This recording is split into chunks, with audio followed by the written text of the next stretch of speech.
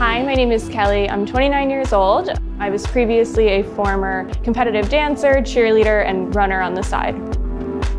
So we first started coming to the lab about two years ago. My husband and I, who always enjoyed working out, but felt like we were never fully getting everything out of our workout. The more we started coming, the more we kind of fell in love with it, and it just kind of steamrolled into wanting to come here and wanting to be here all the time.